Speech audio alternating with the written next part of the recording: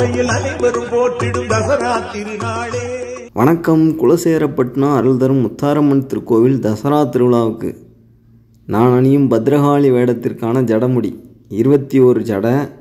கிட்டத்தட்ட முதல் மூணு வருஷத்துக்கு அப்புறம் முதல் மூணு வருஷம் பார்த்திங்கன்னா பதினோரு ஜடை வச்சு வேடமிட்டேன். அதற்கப்புறம் இருபத்தி ஒரு ஜடை வைக்க ஆரம்பிச்சிட்டேன். அப்போ உள்ள ஜடை தான் இன்னும் அது பாட்டுக்கு இருக்குது. கடந்த ஒரு சில நாட்களுக்கு முன்னாடி பார்த்திங்கன்னா நம்ம வந்து நம்மளுடைய வேடம் பொருட்கள் எல்லாமே ஒரு வீடியோவாக போட்டிருந்தோம். அதில் ஒருத்தங்க கமாண்டில் கேட்டிருந்தாங்க ஜடமுடி வளருமா? அப்படின்னு சொல்லி. எனக்கு அந்த கமாண்டை வாசிச்சுட்டு இந்த சின்ன பிள்ளைகள் படிக்கும்போது நோட்டு புக்குக்குள்ளே மயிலிறக வச்சா மயிலிறகு வளருமா அப்படின்னு சொல்லி பவுடர்லாம் போட்டு அந்த இதுதான் ஞாபகத்துக்கு வந்துச்சு. அதாவது ஜடமுடி வளரும் அப்படிங்கிற இந்த ஒரு நம்பிக்கை வந்து நிறைய பேர் மனசில் இருக்கும். நானே சின்ன வயசில் கேள்விப்பட்டிருக்கேன் இது. ஜடை வந்து வளர்ந்துருமா அப்படின்னு சொல்லி. ஜடை வந்து கொஞ்சம் பெருசாகும் அப்படிங்கிறது உண்மை தான் இப்போ நம்ம நான் வாங்கும்போது பார்த்திங்கன்னா கொஞ்சம் ரொம்பவும் தர வரைக்கும் வேண்டாம். அது சாமி ஆடும்போது கீழே கிடந்து இழுக்கு அந்த சவதி கிவதிலாம் படுது அப்படின்னு சொல்லி கொஞ்சம் எப்படி சொல்கிறது முட்டுக்கும் கொஞ்சம் கீழே. அதாவது தரையில் படாத அளவுக்கு தான் நான் வந்து கேட்டு வாங்கியிருந்தேன். தலையில் வைக்கும்போது நம்ம தரையில் உரசாத அளவுக்கு தான் கேட்டு வாங்கியிருந்தேன்.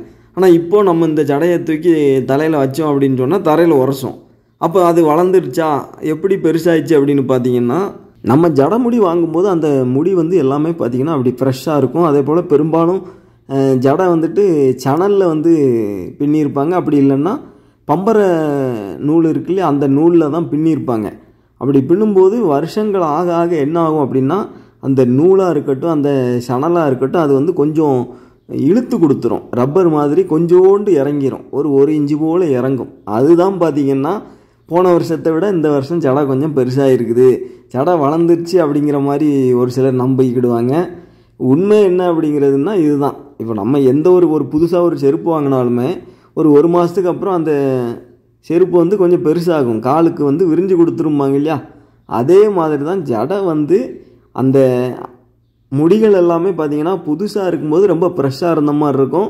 அதே போல் புதுசாக பார்க்கக்கூடிய ஜடைகள் வந்து நமக்கு வந்து அந்த ஜடையெல்லாம் அப்படி ஒன்று போல் உருண்டு திரண்டு இருந்த மாதிரி இருக்காது. இப்போ நம்மக்கிட்ட இருக்கக்கூடிய ஜடெல்லாம் பார்த்தீங்கன்னா அந்த முடிகள் எல்லாமே ஒன்றுக்கு ஒன்று அப்படி உருண்டு ரொம்பவும் கயிறு மாதிரி இல்லாமல் ஓரளவுக்கு உருண்டு போய் இருக்கும்.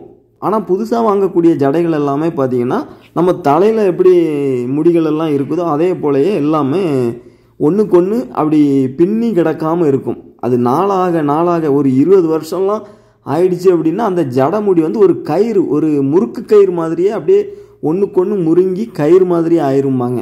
அதே போல் நீங்கள் வாங்கும்போது இதை வந்து ரொம்ப முக்கியமாக கவனிக்க வேண்டியது ஒரு ஜடை வந்து அப்படி முறுங்கி போய் கயிறு மாதிரி இருக்குது அப்படின்னு சொன்னால் அது வந்து மேக்சிமம் பழைய ஜடையாக தான் இருக்கும். இதை வச்சே நம்ம வந்து கண்டுபிடிச்சிக்கலாம். புது ஜடை அப்படின்னா அது வந்து முடி வந்து தலைமுடி நம்ம தலைமுடி மாதிரியே தான் ஒன்றுக்கு ஒன்று பின்னாமல் அழகாக இருக்கும். அதை வச்சே நம்ம வந்து கண்டுபிடிச்சிக்கலாம்.